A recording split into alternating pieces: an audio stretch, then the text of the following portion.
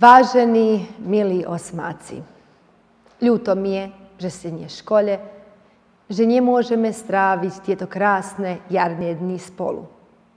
Ale predsa zdravie na prvom mieste. Ale našli sme spôsob, aby sme predsa boli v dobrej komunikácii a predsa vás niečo naučili. Som Libuša Simendičová a dnes vás budem učiť o doprave.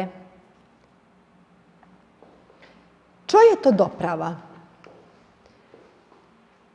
Doprava je premiestňovanie, prevážanie osôb a nákladov prepravnými prostriedkami, ako aj transfer informácií a ideí. Rozlišujeme osobnú a nákladnú dopravu ale aj informačnú a poštovú dopravu. Podľa prostredia, v ktorom prebieha, doprava sa delí na pozemnú, vodnú, leteckú. Pozemnú dopravu máme cestnú, železničnú, potrubnú.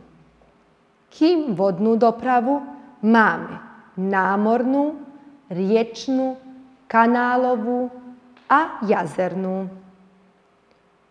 Aj zostala nám tretia, to je letecká doprava. Ako sa doprava koná? Môže byť len v rámci jedného štátu a vtedy sa volá vnútrozemská doprava. Ak presahuje štátne hranice, nazýva sa medzinárodná. A ak sa koná cez územia cudzích štátov, vtedy je tranzitná. Ale pôjdeme radom. Ako čo sme už povedali, že máme cestnú premavku. Súčasná cestná premavka v Srbsku sa začala vyvíjať ešte začiatkom 20. storočia. Cestnú sieť našej krajiny utvárajú cesty rôzneho významu. To sú diaľnice, magistrály, regionálne a miestne komunikácie. Tu máme obrazy, to nám je Ibarská magistrála, regionálna cesta cez Fruškú horu a tu máme diaľnicu. Vidíme rozdiel pomedzi tieto cesty.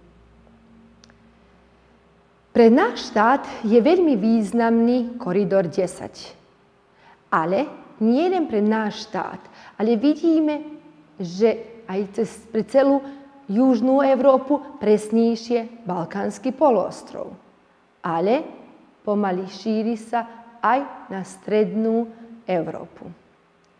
Koridor 10 ide Subotica, Nový Sad, Belehrad. Tu máme jedno ramienko, ktoré ide šít, čiže do hranici s Chorvátskom. Ďalej, z Belehradu pokračuje koridor 10 do Níšu a tu znovu máme také rozvetvenie, kde máme od Níšu cez Pirot, Dimitrovgrad až do hranici s Bulharskom druhá časť toho koridoru 10 nám ide e, cez Vranie, Preševo a do hranice s Macedónskom. Železničná premávka je veľmi významná v našom štáte a vyvíja sa každodenne. Ale čo je veľmi zaujímavé, že v 1825 roku bola spustená vo svete prvá železničná trať do prevádzky. Onedlho, čiže v 1857 roku, už aj v Srbsku vybudovali prvú trať. Ona išla od štátnej hranice s Maďarskom po štátnu hranicu s Rumúnskom. Pre rýchly vývoj železničnej premávky obdobie 50. rokov 19.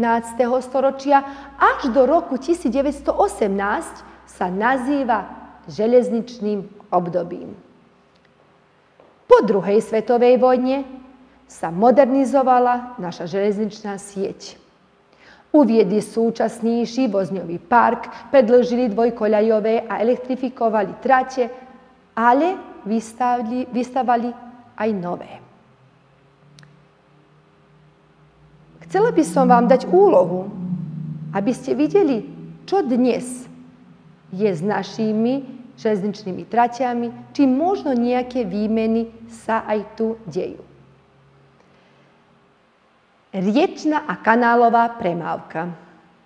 Prírodné predpoklady pre vývoj riečnej a kanálovej premávky sú územné nerovnomerné v Srbsku.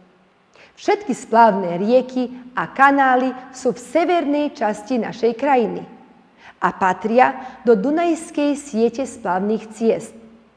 Dunajom sú spojené s európskymi splavnými cestami. Splavné rieky Srbsku sú, znamená v severnej časti. Dunaj, medzinárodná rieka, je splavná celým svojim tokom cez Srbsko. To je úhrne 588 km. Rieka Sáva, ona je taktiež celým tokom cez Srbsko splavná a to je 207 km.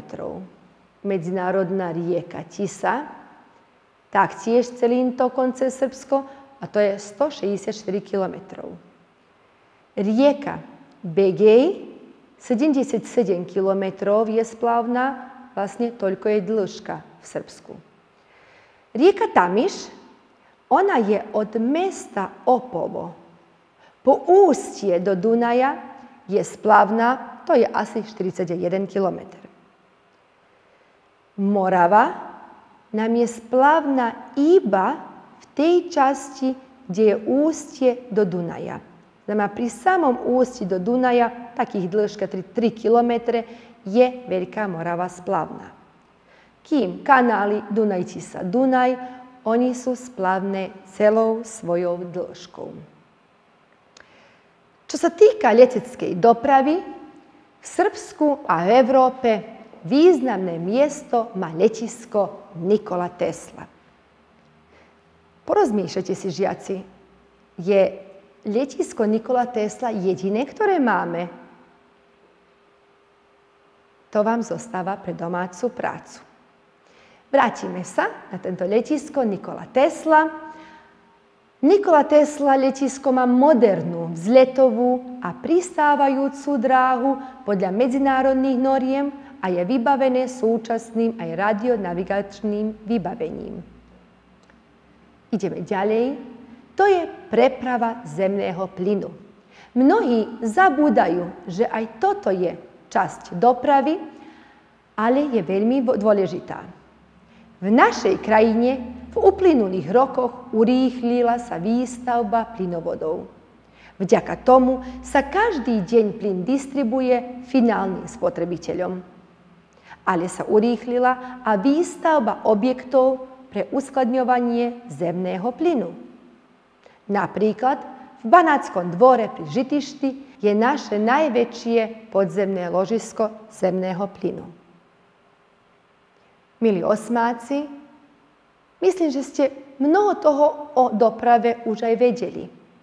Že teraz sme si iba zopakovali, ale prosím vás, ešte raz doma zopakujte, lebo nám toto bude veľmi potrebné.